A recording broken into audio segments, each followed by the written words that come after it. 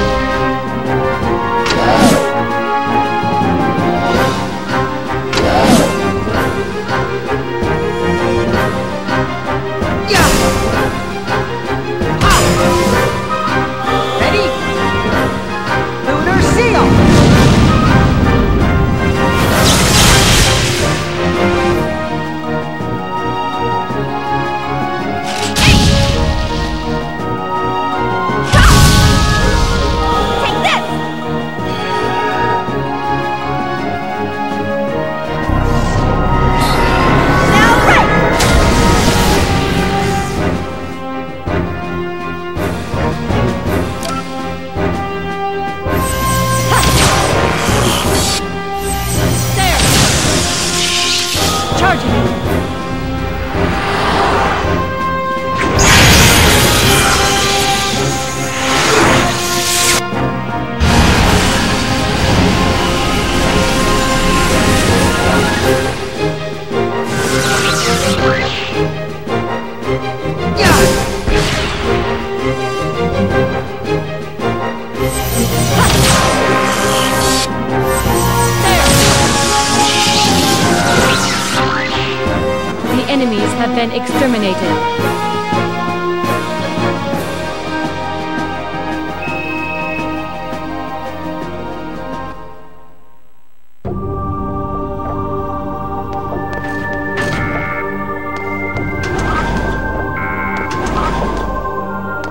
Thank you.